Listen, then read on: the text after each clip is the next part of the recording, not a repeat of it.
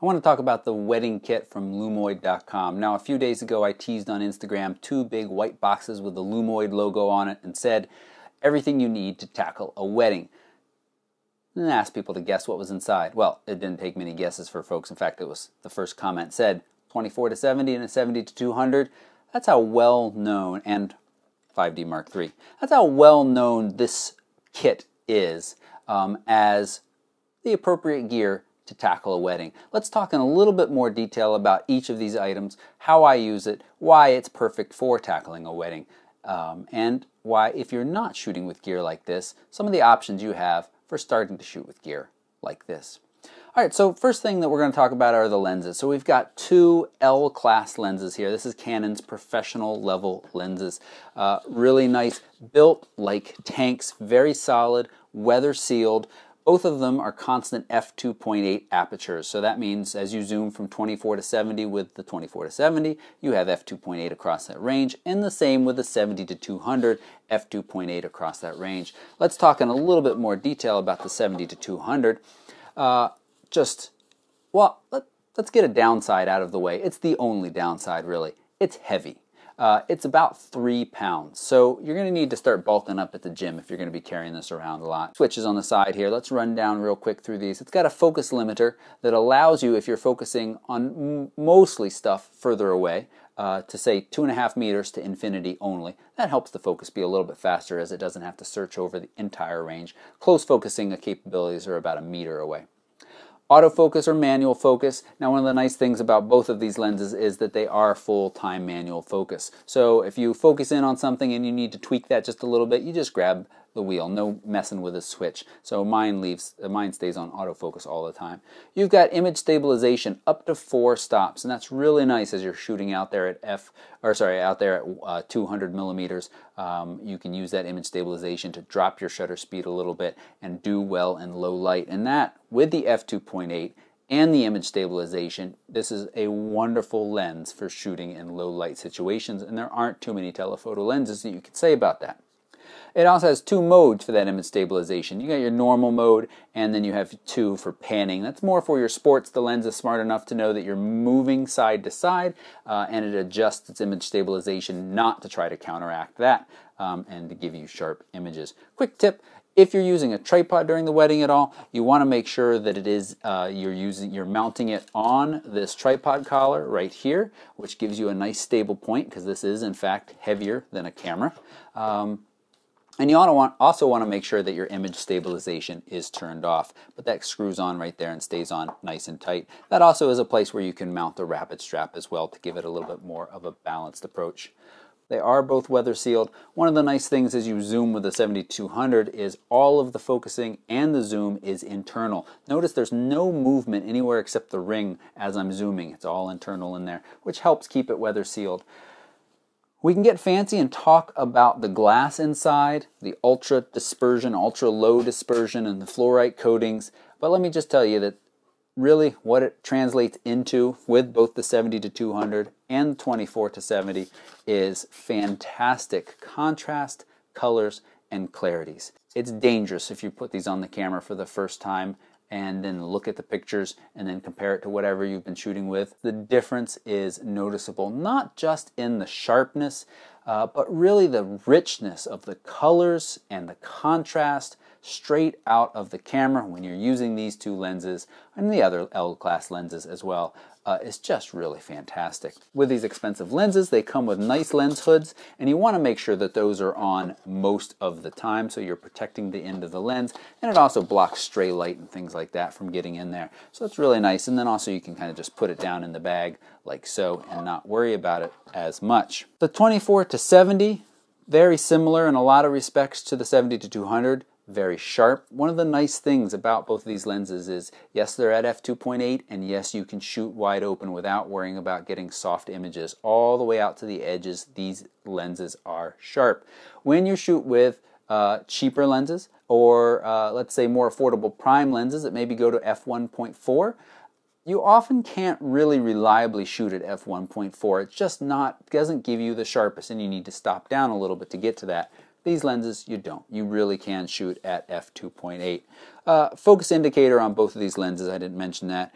The 24 to 70 doesn't have image stabilization, and I hear people complain about that every once in a while.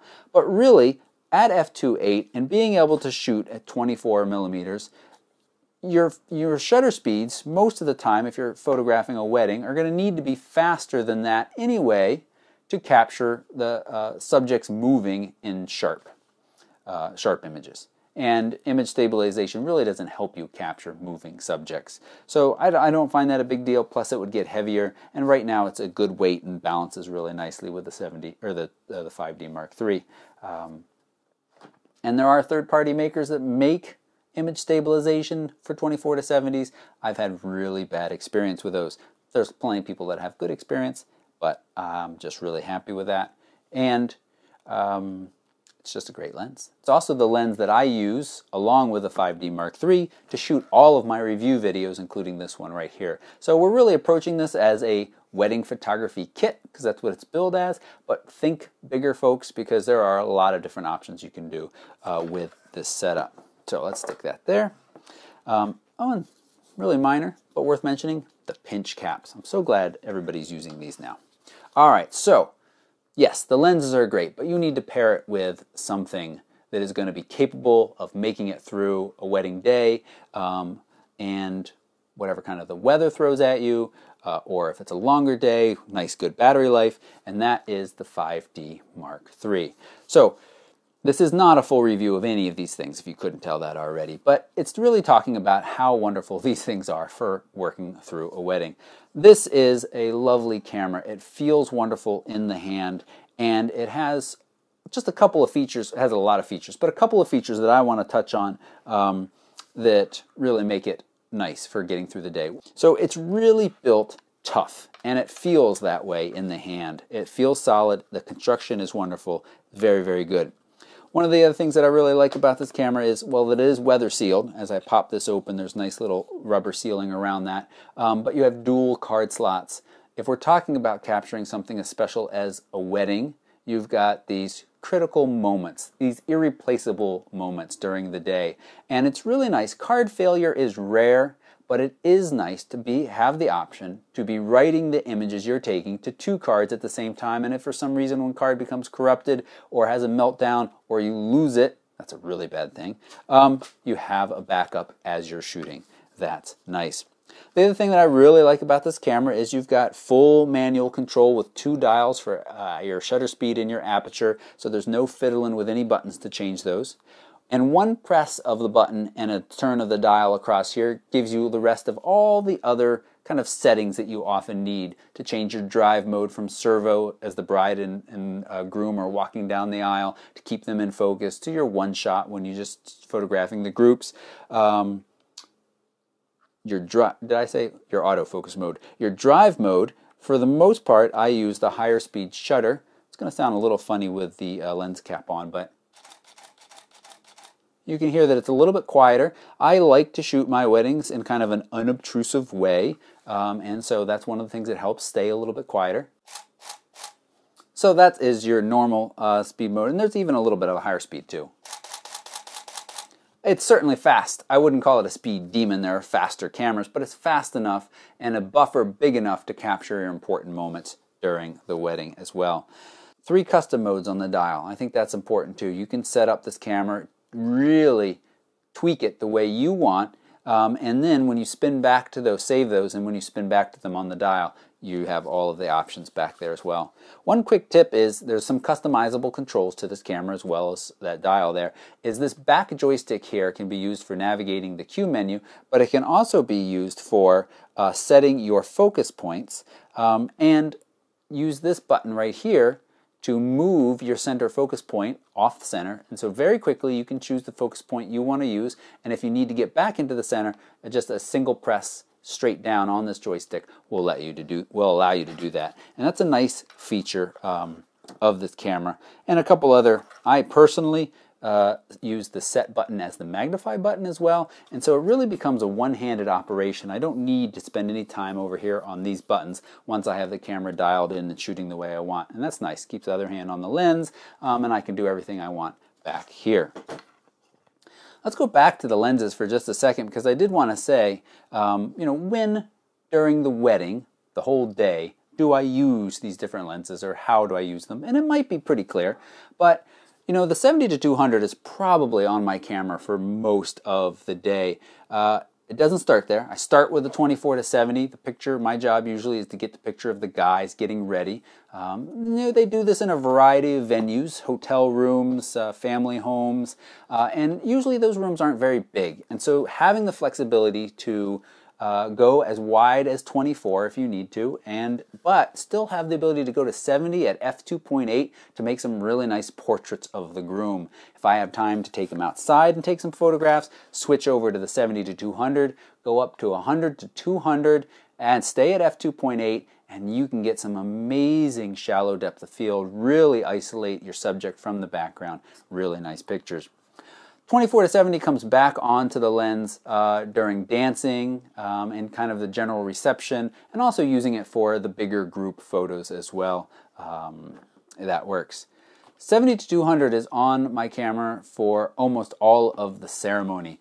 Again, there are some photographers, and you maybe even saw that viral video where there was a photographer right behind the uh, priest, reverend, officiant. He did not take kindly to that. I do not like to be that involved in the ceremony. I'm really not part of the ceremony. I'm there to capture it. And using the 70 to 200 allows you to stay on the fringes, but still really get these amazingly close pictures like you are there. Um, and I really love hearing the comments from people afterwards that said, didn't even notice you taking pictures today. Did you take pictures? And you can assure them you did. And we run a little slideshow during the reception usually. And they're quite impressed because they didn't notice us.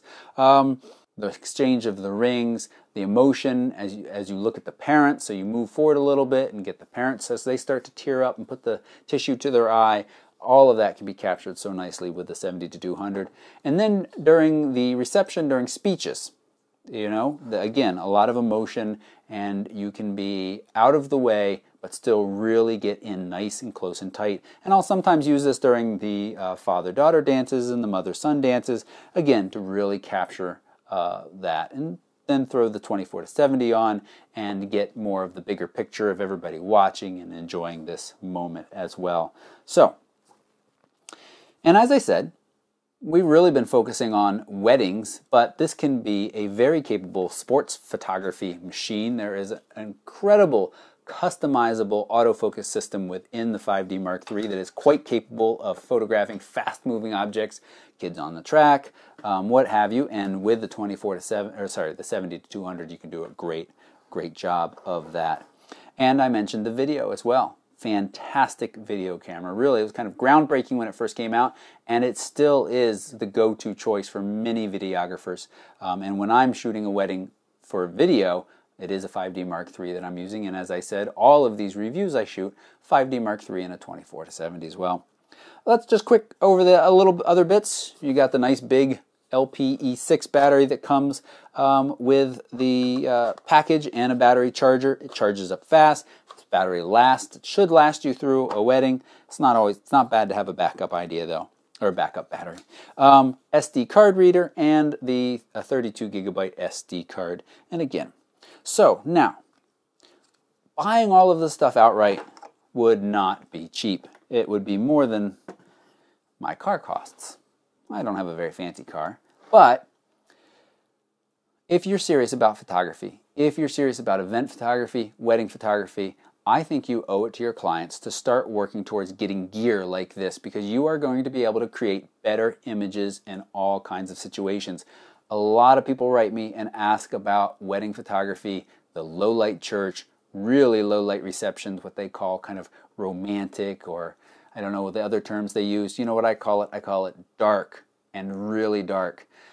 And having equipment like this, 5D or uh, the 5D Mark III with a really high ISOs that you can shoot at. I didn't even mention that, but of course the quality out of this camera and the high ISOs you can go to um, is really wonderful that f2.8, all of that is really nice. So what I suggest if you don't can't afford outright is start renting this gear, build that rental cost into the cost you're charging your clients. Again, you're going to be able to create better images. That's going to be able to create more work for you as people see these images in your gallery. Um, and then, one of the really nice things, if you're renting from Lumoid, which I recommend because they're good folks, um, is I don't know why I'm holding up the SD card because it's got their logo on it. Uh, is you can put part of your rental fees towards purchasing these items down the road. You earn credits toward purchasing. So it's really nice. You're building this into your cost, you're earning credits towards buying, and eventually you're going to start owning some of these pieces. Now, maybe you own one or two or all of this. Uh, also, think about having backup cameras. It's really important. I've mentioned this before in my podcast and in my other wedding tip videos, where if you're showing up with only one camera to a wedding day, just like I was talking about having an, a backup to the SD or your, your um, memory cards, what if something goes terribly wrong with your camera and in the middle of the day you are left with no way to capture these people's precious, irreplaceable moments? So you want to think about renting as a backup solution as well. So I think that's a mostly cheery note to end on. I feel like I was a little doom and gloom there, but really, you should have backups. So this is the wedding kit from lumoid.com, but as I said, think bigger, video, events. Uh, this is everything you need to tackle just about any situation uh, with grace. Sure. All right. Thanks so much for watching. And if you've got any questions, you want to check out this kit, look right down below. There is a link to go check out this from lumoid.com. Thanks for watching. And if you haven't already, please subscribe.